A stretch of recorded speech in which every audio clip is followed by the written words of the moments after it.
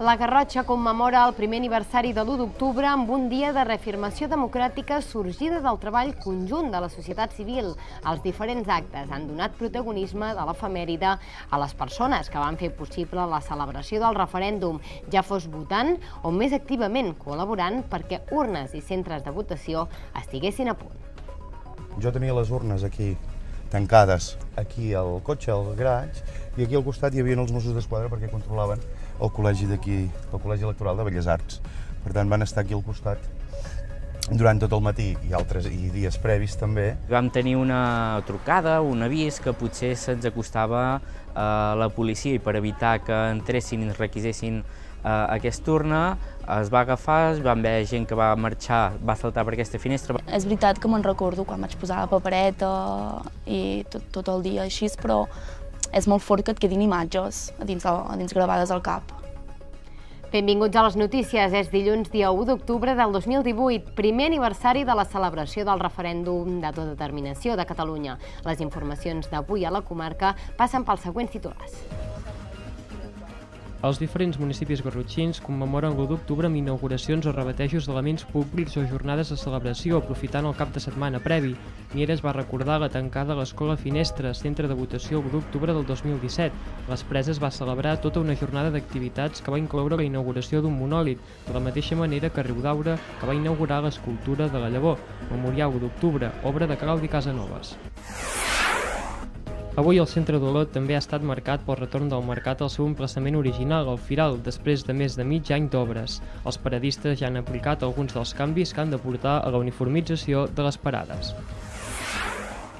La Unió Esportiva Olot va perdre aquest cap de setmana contra un dels rivals més durs de la Lliga, el Barça B. Els jugadors de Raúl Garrido van pagar les conseqüències d'un mal inici de partit, tot i que van acabar amb bones sensacions i van tenir oportunitats per almenys empatar el partit.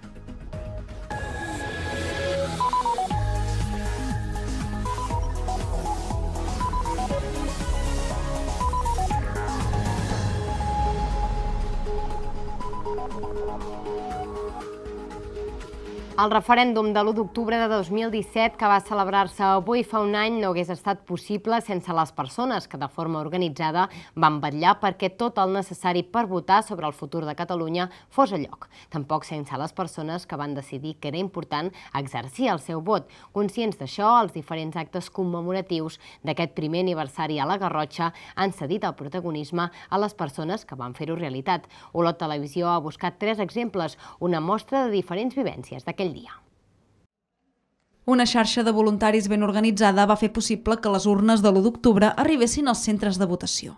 L'última baula de la cadena van ser els voluntaris que van recepcionar les urnes, les van guardar durant dies a casa i finalment van entregar-les als centres. L'Olotí Dani Planàs en va custodiar dues. Jo tenia les urnes aquí, tancades, aquí al cotxe, al garatge, i aquí al costat hi havia els Mossos d'Esquadra perquè controlaven el col·legi d'aquí, el Col·legi Electoral de Belles Arts. Per tant, van estar aquí al costat durant tot el matí i altres i dies previs també. Les càrregues policials no van arribar a la Garrotxa aquell dia, tot i que alguns municipis van rebre avisos que podien rebre alguna visita. Els pobles van fer l'impossible per preservar el dret a vot, com les planes d'Hostoles, que van traslladar l'urna a l'església.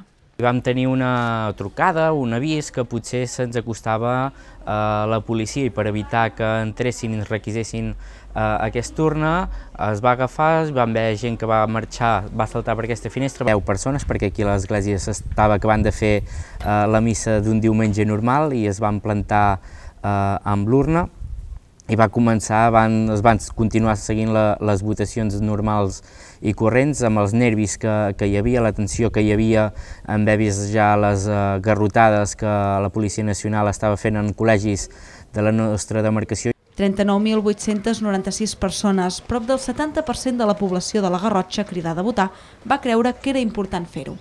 L'Alba Massanella feia pocs dies que havia complert els 18 anys i tenia clar que volia votar amb algun problema derivat dels talls provocats a internet, va acabar votant al centre de votació de l'Escola Volcà Visaroques d'Olot. Vaig decidir votar perquè crec que era una data molt important per fer-ho, perquè havíem de triar el referèndum, és a dir, havíem de ser independents i crec que doncs, per ser la meva primera votació doncs, havia de ser molt important.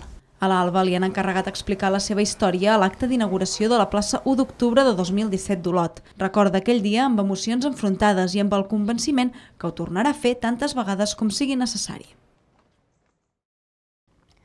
Aquest que acaben de veure és un petit fragment del reportatge que Olot Televisió emetrà aquest vespre amb motiu del primer aniversari de l'1 d'octubre. Serà a dos quarts d'onze de la nit, on començarà un programa especial on es recordarà i s'analitzarà com es va viure aquesta jornada històrica a la comarca.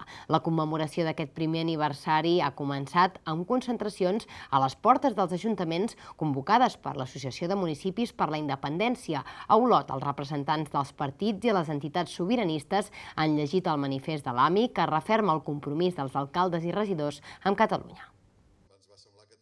A la mateixa hora que es van obrir els punts de votació ara fa un any, les 9 del matí, l'Associació de Municipis per la Independència ha convocat concentracions en record de la jornada del referèndum d'autodeterminació.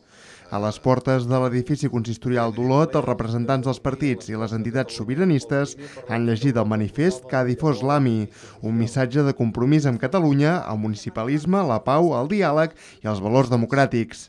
El text també ha recordat les persones anònimes que van fer possible una diada que consideren històrica, així com els polítics empresonats i a l'exili i els alcaldes que estan sent investigats per col·laborar en l'organització de la votació. El que reivindiquem és l'esperit de l'1 d'octubre, un esperit de defensa de la ciutadania, de tots els seus drets, i, i que és un fet que ens en sentim molt orgullosos.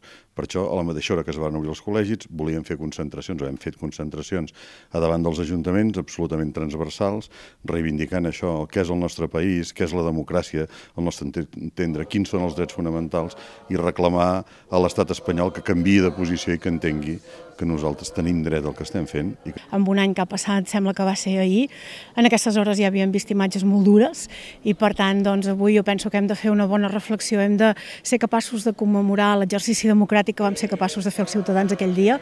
El més important és, és la gran gesta democràtica que vam poder fer. Penso que um, això és una llavor important i que aquella sensació que vam tenir de ser un poble immens que érem capaços d'organitzar-nos i poder-ho tot és el que nosaltres hem de poder mantenir. Nosaltres demanem demanem, en primer lloc, doncs que s'avanci, que es tiri endavant, que qui no es vegi capaç no passa res, no és un acte de traïció ni, ni molt menys, però si algú no es veu capaç per agafar i tirar endavant el compromís que tenim amb aquest país en el fet de desplegar la, la república i d'assolir totes les llibertats, la llibertat dels presos polítics i totes les llibertats polítiques nacionals i socials, si algú no es veu capaç de fer això, que faci un pas al costat, que segur que hi ha tota una part de societat que estan disposades a agafar, tirar endavant i dur les coses fins al final.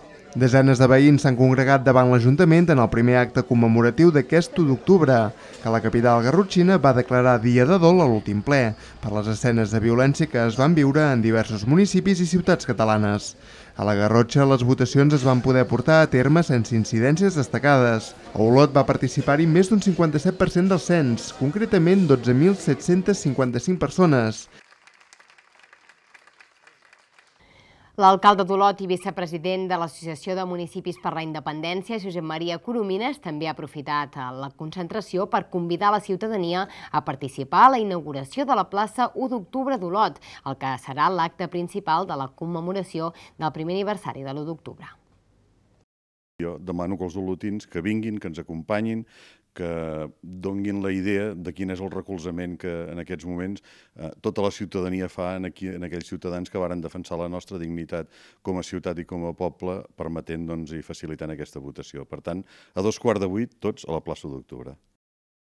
L'Assemblea d'Artistes de la Garrotxa també s'ha sumat als diferents actes de commemoració que es fan avui a Olot. Ho ha fet amb una instal·lació sonora repartida per diversos punts de la ciutat, on des de les clavegueres es poden sentir tres locucions corresponents a tres moments que giren entorn de l'1 d'octubre de l'any passat.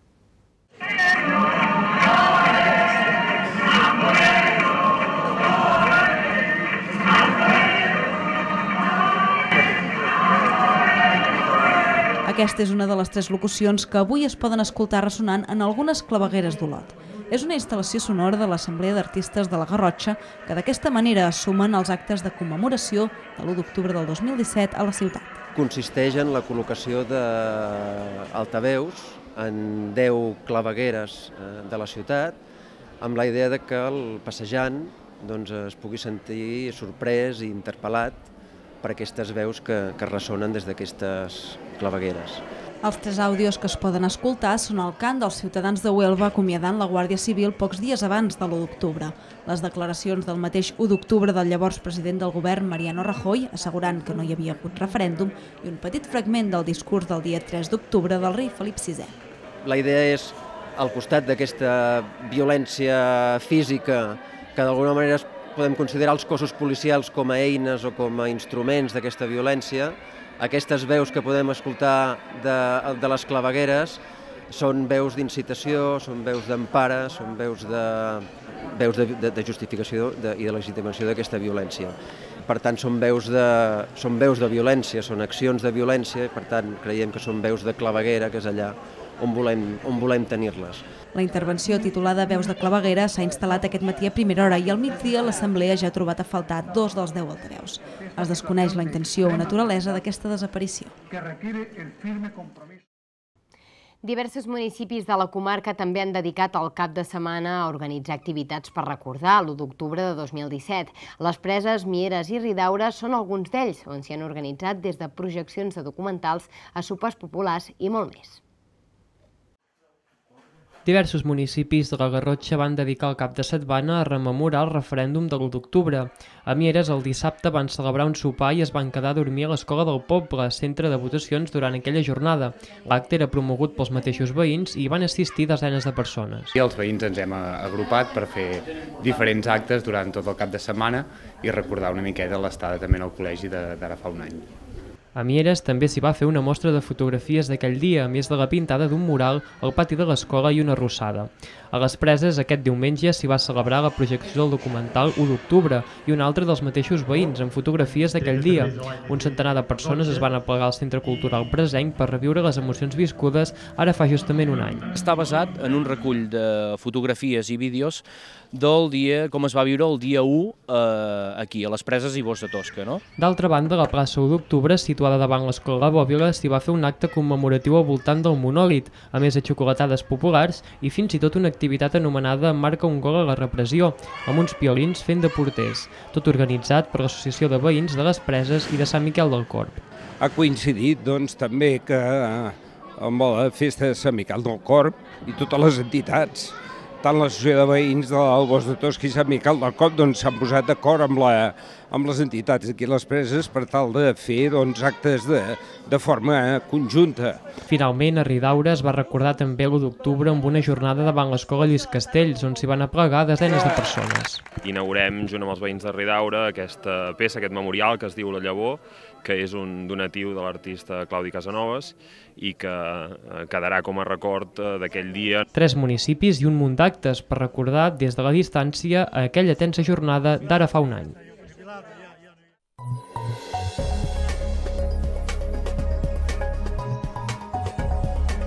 Fem una breu pausa per la publicitat i tornem de seguida amb el bloc esportiu eh, marcat pel derbi garrotxí de segona catalana d'aquest cap de setmana entre el Santa Pau i el Bosc de Tosca, que es van veure les cares en un partit intens. En uns minuts també seguirem la Volta a la Garrotxa amb una activitat ciclista, la d'aquest cap de setmana, que ha estat especialment intensa fins ara.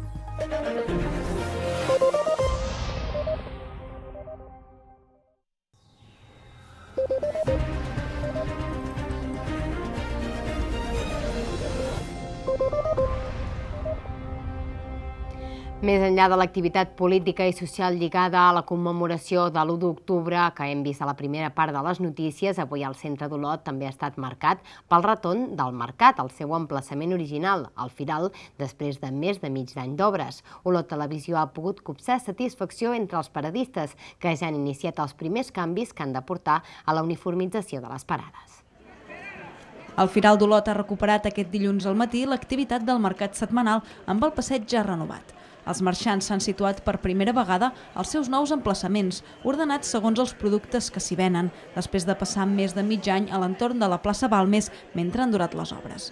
En general, les primeres impressions d'alguns d'ells han estat positives. Està molt bé perquè han tret els, els, els escalons aquí al, a aquesta zona d'aquí i ens va molt bé per descarregar i bueno, ha quedat molt planer tot i molt, molt accessible. No, està bé perquè han eh, organitzat tot bastant així per sectors, el planter està en una zona i la fruita i verdura en una altra, i bueno, bé, els fruits secs també han posat a la mateixa zona, pues ho veig bastant bé.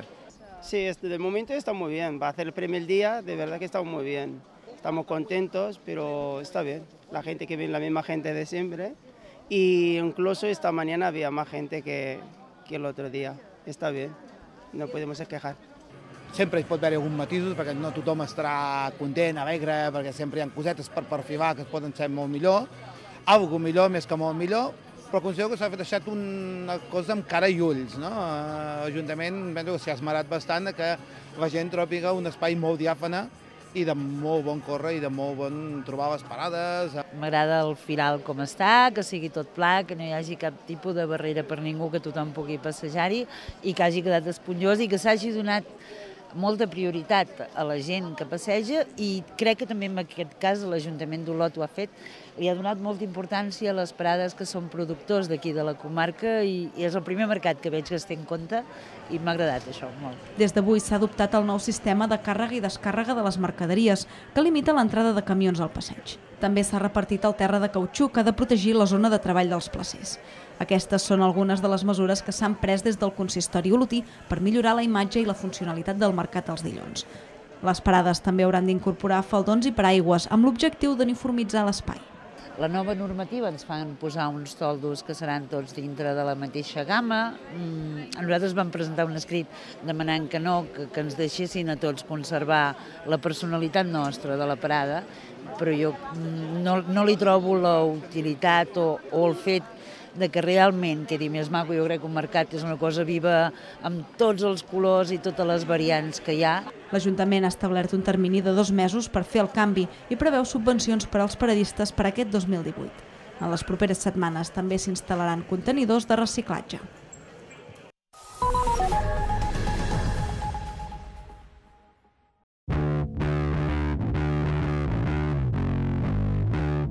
Per als que destaquen pel seu marcat caràcter esportiu. Aquest és el teu focus. Presentem el nou Ford Focus. Garatge Central, concessionari oficial Ford, us ofereix els esports.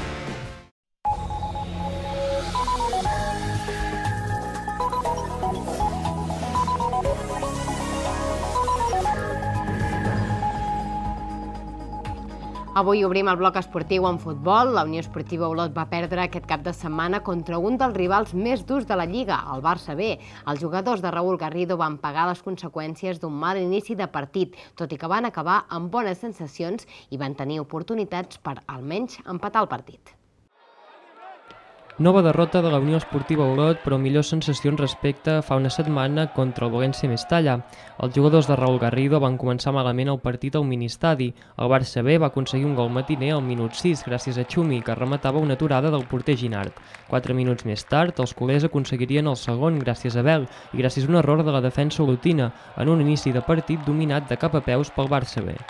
La Unió Esportiva Olot, però, va anar entrant en el partit i just abans del descans li va arribar la recompensa en forma de gol, després que l'Embaró rematés de cap just davant l'àrea petita la pilota en la sortida d'un córner. A la segona part, l'Olot es va sentir més còmode i va generar més perill, però la Diana no arribava i els minuts anaven passant, fins que al minut 73 Roger Bernil seria expulsat en una acció molt discutida. A partir d'aquí, a la Unió Esportiva Olot, el partit se li va fer una muntanya i amb prou feines va poder fer res jugant amb un home menys. 2 a 1 a favor del Barça i recuperació de les bones sensacions per part de l'Olot, malgrat la derrota. Un córner ens fan l'1 a 0 en minut 2-3, que no ha de passar mai de la vida, i el segon és un regal, i ja, ja l'heu vist. Jo crec que després hem estat molt bé. Jo crec que la segona part ha sigut tota nostra, tota. Eh. Amb un home menys i tot, eh, jo crec que s'ha jugat molt al seu camp. L'expulsió és clau, l'expulsió és clau perquè és que a més eh, jo és que estic a la, a la meva posició ho veig molt clar, que no, que no hi ha contacte, és que no hi ha contacte, és impossible que, que sigui targeta eh, groga perquè és que no hi ha contacte. Muy contentos por, por la victoria, muy sufrida, sobre todo en la segunda parte. Creo que que la primera, la primera parte ha sido completamente nuestra, con, con muchas ocasiones de gol, hemos estado mucho más cerca del 3-0. Amb aquesta derrota, el conjunt olotí es situa a la mitja taula de la Lliga i espera la setmana que ve al Badalona. També dissabte, Santa Pau i Bos de Tosca es van veure les cares per disputar un dels derbis garrotxins a la segona catalana. El partit, en poques ocasions pels dos conjunts, va acabar en empat a un i es mantenen a la part alta de la classificació. El partit es va poder veure per Olot Televisió. Taules en el derbi entre el Santa Pau i el Bos de Tosca, la segona catalana. Els dos equips que venien de guanyar les dues últimes jornades de Lliga es veien les cares amb l'objectiu de fer un pas més a la classificació, però al final ni un ni l'altre va aconseguir endur-se els 3 punts. El partit prometia emocions fortes i és que al minut 6 el Santa Pau s'avançava per mitjà de Marc Fortet, després d'un rebot a l'àrea petita que va saber aprofitar el jugador local. Mica en mica el Bos de Tosca van entrar en el partit i al minut 26, a la sortida d'un córner, Francesc Dorca posava l'1-1 en el marcador. Amb aquest resultat, resultat s'arribaria al descans. Al vespre queia el municipal de Santa Pau coincidint amb l'inici de la segona part i sota una pluja intensa per moments. La segona meitat va ser més ensupida i amb menys ocasions pels dos equips, que a mesura que passaven els minuts veien com l'empat era cada vegada més a prop. I així va ser 1 a 1 i una nova jornada sense perdre els dos equips. Bueno, sí, eh, ja ho vaig dir que per mi era un dels equips que jugava millor a la categoria, hem intentat defensar-nos i aprofitar les nostres ocasions i, i bueno, mm, un puntet, sempre es volen els tres, però un puntet que és bo. Bé, un partit que sabíem que, que seria complicat, amb un camp complicat, eh, on penso que tothom ha donat el, el màxim i, i el resultat just. El Bos de Tosca és ara quarta a la Lliga i rebrà la setmana que ve el Roses. Per la seva banda, el Santa Pau és vuitè i visitarà el Boscanó. El derbi es va poder veure per la televisió en el marc del seguiment que està fent aquesta temporada els equips garrotxins de la segona catalana. Aquest cap de setmana, d'altra banda, va tenir lloc la quarta volta a la Garrotxa. Dissabte es va celebrar el trofeu Remensa, una prova on Adrià Moreno es va imposar. Diumenge es va córrer el 64è trofeu Festes d'Altura. En aquest cas, el francès Stefan Bennett va guanyar, aconseguint així la victòria a la classificació general.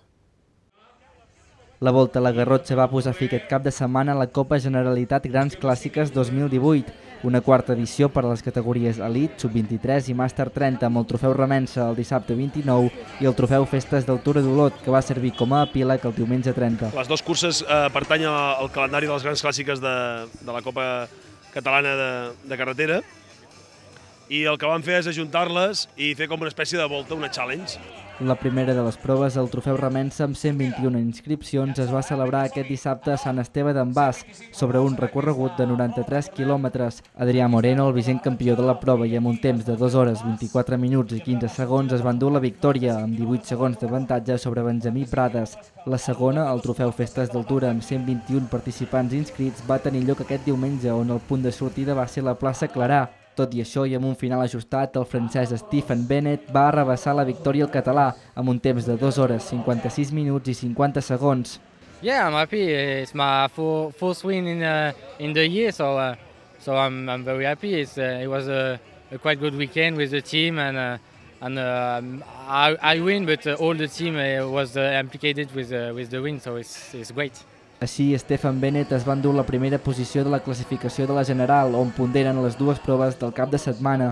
A més, David Gómez es va coronar líder de la Copa Generalitat Grans Clàssiques de la Federació Catalana de Ciclisme de la temporada d'enguany.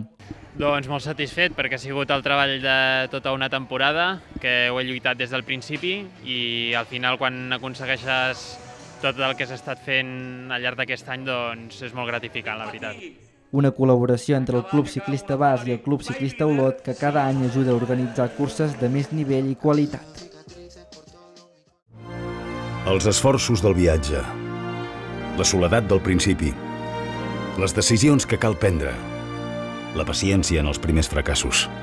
Ningú no va dir que fos fàcil, només que valdria la pena intentar-ho perquè en els moments difícils rebis tota l'atenció. A la Mútua General de Catalunya et donem cobertura integral del càncer amb els millors especialistes. Sempre al teu costat per oferir-te el que necessites.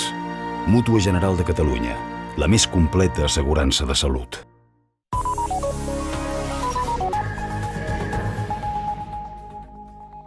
La contraportada d'avui la dediquem a un acte històric de la festa major d'un dels barris d'Olot. Es tracta del Vallplà de Sant Miquel, que va poder-se celebrar finalment diumenge al matí després que s'hagués d'anul·lar per la pluja. Els carrers es van vestir un any més de festa i 90 participants van desfilar amb els tradicionals vestits de paper. Un any més, Sant Miquel es va vestir de festa i diversió en el marc de la festa major del poble, Un dels actes més destacats del programa era el tradicional Ball Pla, L'esdeveniment havia de tenir lloc dissabte al vespre, però es va aplaçar el diumenge a causa de la pluja. Així doncs, el ball pla de la Festa Major de Sant Miquel va tenir lloc aquest diumenge al matí. El ball va seguir el recorregut que va fer l'ofrena floral. Tots els participants van desfilar pels guarnits carrers del barri darrere dels gegants, que juntament amb la Pobilla van anar a fer l'ofrena floral a Sant Miquel. El Ball Pla de Sant Miquel és un acte que fa 74 anys que ho fem, eh, i és la burla del Ball Pla d'Olot, que es fa per la festa major, que es feia. Eh? La gent el que va començar és a, a burlar-se dels senyors que sortien i les senyores que sortien al Ball Pla d'Olot i copiaven els vestits fets de paper gairebé un centenar de persones. 90 veïns i ciutadans de la resta de la ciutat es van trobar en un dels esdeveniments més tradicionals i solemnes de la capital garrotxina. Els populars i visibles vestits de paper es van convertir en clars protagonistes de la festivitat. Doncs des de fa anys sempre hi ha algú que dirigeix el taller i després hi ha tot un grup de senyores, som les cosidores del Vall Pla, que des del mes de juny fins al dia d'avui estan cada tarda al taller cosint, tallant i fent els vestits. La feina de les cosidores, però, va tenir la recompensa, una desfilada elegant, fruit de tota la feina realitzada durant mesos, una tradició que l'any que ve commemorarà els 75 anys d'història. Les festes de Sant Miquel es completaran amb una programació diversa per a tots els gustos. Els esforços del viatge, la soledat del principi, les decisions que cal prendre, la paciència en els primers fracassos. Ningú no va dir que fos fàcil, només que valdria la pena intentar-ho. Perquè en els moments difícils rebis tota l'atenció. A la Mútua General de Catalunya et donem cobertura integral del càncer amb els millors especialistes. Sempre al teu costat per oferir-te el que necessites. Mútua General de Catalunya, la més completa assegurança de salut.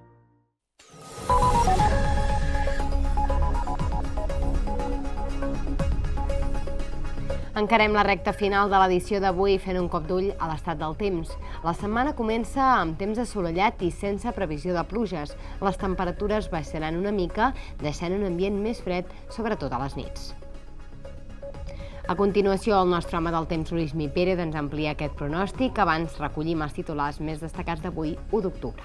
La Garrotxa commemora el primer aniversari de l'1 d'octubre amb un dia de reafirmació democràtica sorgida del treball conjunt de la societat civil. Els diferents actes han atorgat el protagonisme de l'efemèride a les persones que van fer possible la celebració del referèndum, ja fos votant o més activament, possibilitant que urnes i centres de votació estiguessin a punt per dipositar el vot.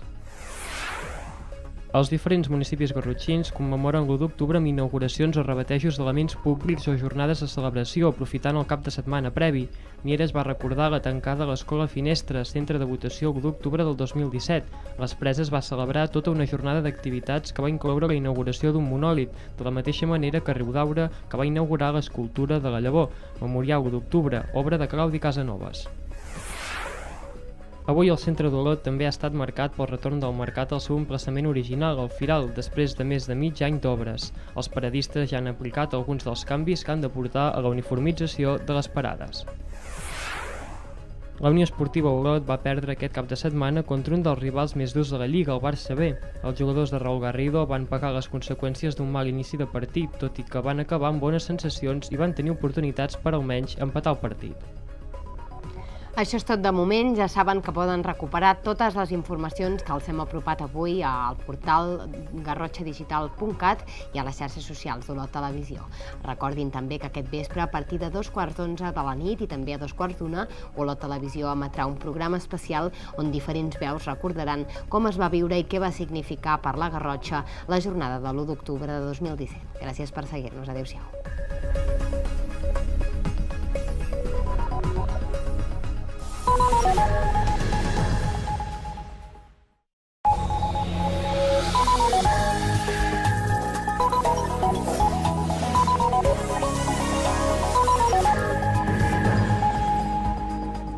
Hola, què tal? Molt bon dilluns. Comença la setmana, ho fa també el mes d'octubre i amb temperatures més baixes, tot plegat amb més sol que no pas molts moments del cap de setmana. Una bona mostra dels xàfecs que fins i tot van acabar descarregant el dissabte a la nostra zona és aquesta fotografia que ens envia en Ramon Calvet des d'Olot.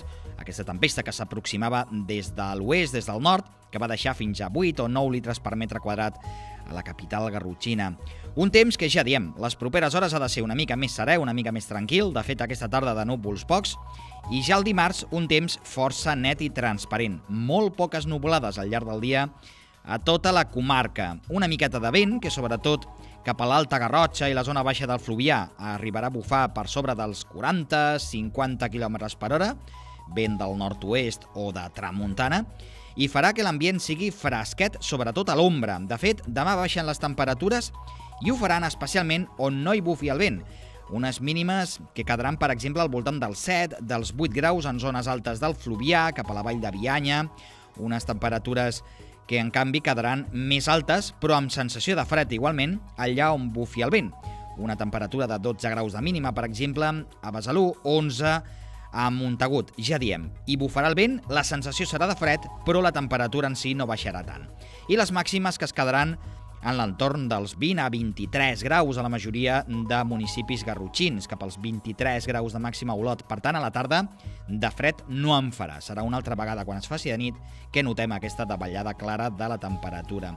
A la resta de comarques de Girona a destacar el sol que hi farà i, sobretot, la tramuntana que tindrem, especialment en zones elevades del Pirineu i a tot l'Empordà, des del Cap de Begú cap al nord, encara hi haurà ràfegues de vent de tramuntana de més de 80 o 100 km per hora. Atenció al costat del Cap de Creus. I pel que fa a l'abans de previsió, un temps que seguirà sent molt tranquil, assolellat, el dimecres, el dijous, el divendres, molt poques nuvolades i temperatures que començaran a pujar una altra vegada. De fet, les tardes a partir del dijous es tornaran a fer càlides i les nits ja quedaran tocades amb un ambient molt més fresquet. I aquesta variabilitat que hem tingut al cap de setmana en forma de dues fotografies. La primera d'Antoni Lora, des de Puigcerdà, bona tempesta, la que teníem a la plana Sardana també al vespre del dissabte. I en canvi un cel completament blau i transparent el que teníem diumenge a Santa Pau, una fotografia des de la plaça Major d'aquesta vila garrotxina d'en Benet Massanella. Ja diem, les properes hores temps tranquil, una mica ventós en zones baixes del Fluvià i temperatures nocturnes bastant frescotes. Música